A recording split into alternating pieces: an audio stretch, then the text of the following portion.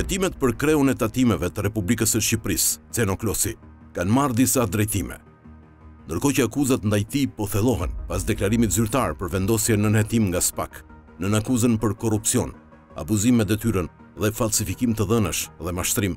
Për Klosin mësohet se janë hapur edhe hetime të reja, lidhur jo vetëm me funksionin aktual, por edhe me detyrat e tij të mëparshme, si dhe për pasurinë e tij.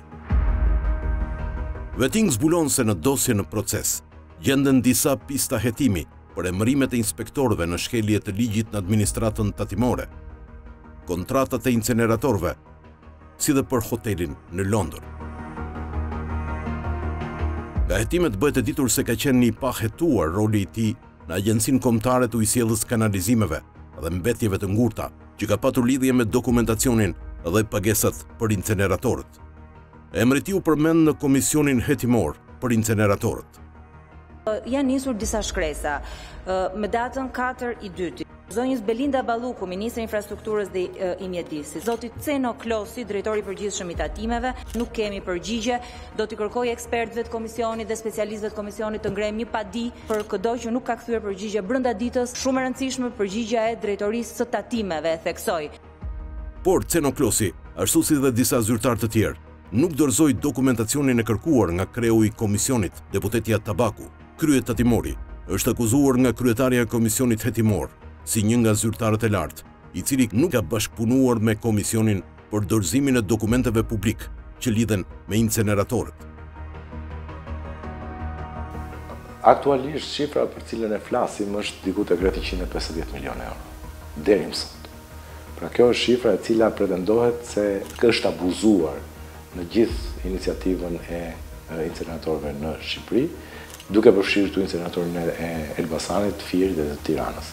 Tani, njëqind e pesëdhjetë milionë euro për ta për ta sjellë sa më afër jush, është e barabartë me një rritje vjetore që i bëhet pensioneve në Shqipëri. Por, a ka përgjegjësi Ceno Klosi? për inceneratorët. Në tetor 2021, do të niste punën Komisioni Hetimor për Inceneratorët, me kërkesën e opozitës, nën drejtimin e deputetes së Partisë Demokratike, Jorida Tabaku. Të vërtetat e lidhjes së drejtorit të tatimeve me kontratat e inceneratorëve të Tiranës, Fierit dhe Elbasanit, nuk burojnë vetëm nga ligji dhe detyrat që ai ngarkon për titullarët, por edhe nga dëshmitë e ministrave të thirrur në komision. Përgjegjësinë mbi drejtorinë që drejtonte Ceno Klosi do ta deklaronte edhe zëvendëskryeministrja aktuale, Belinda Balluku, në cilësinë e ministres së Infrastrukturës dhe Energjisë, e cila në dëshminë e saj në 21 shkurt 2022 para komisionit ngarkonte me përgjegjësi Agjencinë Kombëtare të Ujësjellës Kanalizimeve dhe Mbetjeve të Ngurta, drejtorinë e kryesuar Edhe nga Alqi Bllako, edhe nga Ceno Klosi.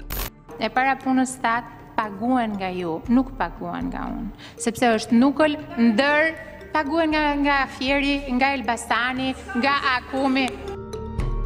Por nëse ish-deputeti i Partisë Socialiste dhe ish-drejtori i përgjithshëm i Akum, Alqi Bllako, gjendet në burg, Klosi vazhdon detyrën te Tatimet, duke mos i shkëputur marrëdhëniet e ngushta me zëvendëskryeministren Belinda Balluku, edhe pse nuk është më në varësi të saj. Madje Klosi nuk u thirr asnjëherë për të dhënë llogari te Komisioni Hetimor në dallim nga Bllako. Inceleratorët ishte marrëzia më e madhe. U nis së prapthi, në vend të ecësh përpara, ecësh së prapthi. Grumbulloshen mbetjet, tani ne i grumbullojmë, harxhojmë edhe para, ka kosto, shteti, njerëzit, qytetarët e thjeshtë, taksapaguesit, paguajnë. Ministria e Infrastrukturës e drejtuar nga Balluku ka përgjegjësi për punimet dhe ndërtimin e impianteve, por deklarata e saj e ekspozon një nga bashkëpunëtorët e saj më të afërt. Ceno Klosi do të emërohej drejtor i përgjithshëm i Agjencisë Ujësjellës, Kanalizimeve dhe Mbetjeve të Ngurta në gjashtëmbëdhjetë qershor dy mijë e njëzet e një. Veting ka sjellë në episodet e kaluara se për Ceno Klosin kishte rekomandim nga Kontrolli i Lartë i Shtetit për ta përjashtuar nga administrata publike për shkelje me faturat te operatori i shpërndarjes së energjisë elektrike dhe tenderin te Agjencia Kombëtare e Ujësjellës Kanalizimeve dhe Mbetjeve të Ngurta. Por në kundërshtim me këto rekomandime, Klosi u vendos në këtë pozicion duke fshehur në deklaratën e tij të pasurisë fonde të kompanive në Londër në shkelje të hapur të ligjit.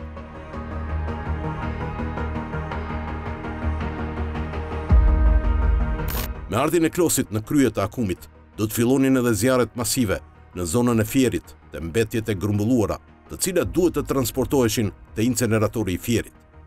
Sipas ekspertëve të mjedisit, djegia e mbetjeve paraqet pasoja të rënda për komunitetin. Të gjitha kur grumbullohen këto, japin pasojë domethënë një, një ndikim të madh në shëndet, që janë kosto shëndetësore, por janë edhe vuajtje njerëzore, janë shkurtim i jetës. Te impianti i Fierit, mbetjet duhet të përpunoheshin, seleksionoheshin dhe në fund të digjeshin për prodhimin e energjisë elektrike. Madje në kontratë përfshihej edhe impianti i përpunimit të ujërave të ndotura dhe landfilli. Çfarë roli kishte Akumi i drejtuar nga Klosi te kontratat e inceneratorëve? Në vitin 2018, kompetencat e Agjencisë Kombëtare të Ujësjellës Kanalizimeve do të zgjeroheshin edhe te kontratat e inceneratorëve. Konkretisht, me anë të vendimit të Këshillit Ministrave numër katërqind e tridhjetë e një, datë njëmbëdhjetë i shtati dy mijë e tetëmbëdhjetë, zëvendës kryeministrja, Senida Mesi, me anë të propozimit të ish-ministrit Damian Gjiknuri, do të miratonte krijimin e Agjencisë Kombëtare të Ujësjellës Kanalizimeve dhe Infrastrukturës së Mbetjeve nën çatinë e ish AKUK. Kompetencat e kësaj agjencie u zgjeruan në fushën e planifikimit territorial dhe infrastrukturës së mbetjeve, qendrat e transferimit, investimet në impiantet e incenerimit, si dhe rehabilitimin e vend-depozitimeve ekzistuese të mbetjeve. Akumi kishte kompetenca të përbashkëta me institucionet e qeverisjes vendore, me bashkitë në menaxhimin e mbetjeve urbane. Për çdo incenerator të Tiranës, Fierit dhe Elbasanit, ekzistonte njësia e zbatimit të projektit, e cila kishte në përbërje të saj anëtarë nga Ministria e Infrastrukturës dhe Energjisë, Agjencia Kombëtare e Mbetjeve dhe bashkitë përkatëse. Kjo njësi monitoronte punimet dhe miratonte situacionet, duke mbajtur përgjegjësi për punimet e pakryera. Sipas pikës numër trembëdhjetë, kë, paragrafi dy, shkruhet, Asistenca e AKUM-it në fushën e planifikimit territorial dhe të infrastrukturës së mbetjeve jepet, ndërmjet të tjerave, por pa u kufizuar, në për qendrat e transferimit, investimet në impiantet e incenerimit, në përcaktimin e venddepozitimeve, urbane dhe inerte, për impiantet e riciklimit, të kompozimit dhe të trajtimit të ujërave të ndotura të lendfillit, për impiantet e trajtimit të gazit, për rehabilitimin dhe mbylljen e venddepozitimeve ekzistuese e të tjerë. Pra ish drejtori i përgjithshëm i Akum, Klosi, ka përgjegjësi direkte, si për investimet, ashtu dhe për monitorimin e kontratave koncesionare të inceneratorëve. Në këtë rast për Fierin kemi akuza nga spak, për punime të pakryera, të cilat janë faktuar nga vendimi i gjykatës. Vetting ka zbuluar një faturë të lëshuar nga vetë Klosi me vlerë njëqind e dyzet milion lekë për kompaninë Integrated Technology Services, e cila kishte në zotrim inceneratorin e Fierit.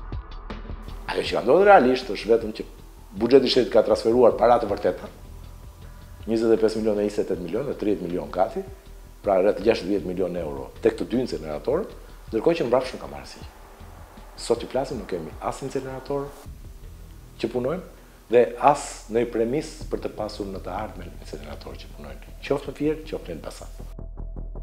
Por çfarë ndodhi me inceneratorët?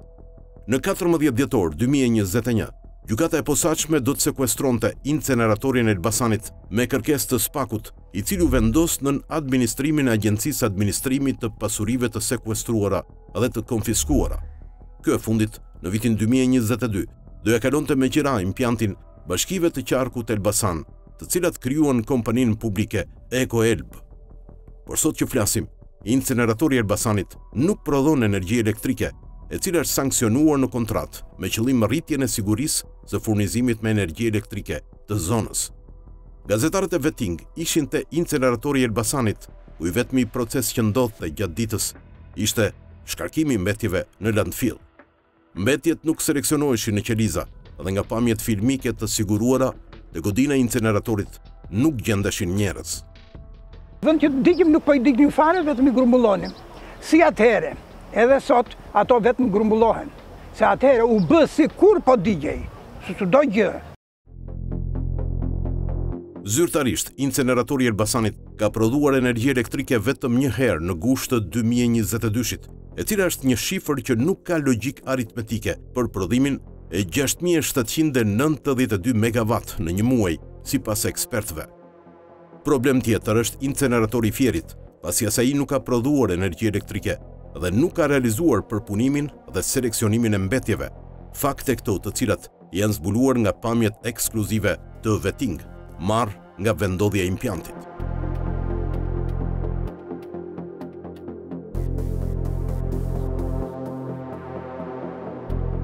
Disa muaj pas Elbasanit, do të sekuestrohej edhe inceneratori i Fierit nga Gjukata. Por pagesat për këtë impiant nga Ministria e Infrastrukturës vazhduan nën justifikimin se kishin dhënë miratimin administratorët dhe njësia e zbatimit të projektit. Por në gusht të vitit të kaluar, SPAK do të njoftonte se gjykata kishte pranuar kërkesën e saj për sekuestrimin e inceneratorit të Tiranës. Është një varr i mbivendosur herë pas here, krijohen male me mbeturina. Çfarë po bëjnë? Asgjë. Por si e toleroi Klosi kompaninë e inceneratorëve. Në gusht dy mijë e njëzet e tre, Kapitali pikë al do të publikonte lajmin mbi skandalin e tatimeve për borxhet e akumuluara të kompanisë së inceneratorit të Tiranës, Integrated Energy, në këtë rast Ceno Klosi, i cili është emëruar prej tetorit dy mijë e njëzet e një në krye të administratës tatimore, kishte toleruar kompaninë Integrated Energy që të akumulonte katër milion euro taksa të papaguara gjatë kohës që administrohej nga privatët. Nga një dokument zyrtar i Drejtorisë së Përgjithshme të Tatimeve, evidentohet mbi detyrimet e papaguara që koncesionari i inceneratorit të Tiranës ka lënë në shtet. Sipas dokumentit, këto detyrime janë akumuluar në vite, kryesisht në formën e tatimfitimit dhe TVSH-së së papaguar. Në prill dy mijë e njëzet e tre, tatimet e drejtuara nga Klosi dhe kompania Integrated Energy kishin nënshkruar një marrëveshje për shlyerjen e detyrimeve me këste. Kompania kishte pesë milion euro borxhe të prapambetura dhe sipas marrëveshjes pagoi njëzet për qind të shumës menjëherë, ndërkohë që pjesa tjetër e detyrimit do të shlyhej me këste mujore. Tilla lehtësira do duhet edhe të hetohen. Pra fakti i arritjes së marrëveshjeve të tilla, të cilat nuk kanë pse arrihen me subjekte në risk, me nivel të lartë risku. Mund të arrish me një subjekt serioz, i cili për një arsye ose për një tjetër mund të jetë në vështirësi për pagesë të tatimeve. Por një subjekt me risk, i cili është i ndjekur me i hetuar penalisht në këto momente ku pronarët e tij janë janë në hetim në kërkim ndërkombëtar nga nga organet ligjzbatuse dhe ti vendos që të të aplikosh një marrëveshje a thua ti se po flet po ke të bësh me një kompani normale serioze që ka qenë njëzet vjet në treg edhe ka qenë e rregullt për njëzet vjet kjo lë shumë hije dyshimi nga mbrapa. Por në korrik dy mijë e njëzet e tre, kësti nuk u pagua, ndërkohë që muajin pasardhës, në një gusht, kompania u sekuestrua nga SPAK dhe u vendos nën administrim shtetëror. Tashmë që kompania administrohet nga shteti, tatimet kanë paralajmëruar për bllokim të llogarive, ndonëse sa ishte në administrim privat e toleroi të krijonte borxhe masive. Madje toleruan edhe të lëvizte paratë nga llogaritë e saj, pasi kur kompania u mor në administrim nga shteti, Në llogaritë e saj u gjendën vetëm dyqind mijë lekë dhe më pak se një mijë euro.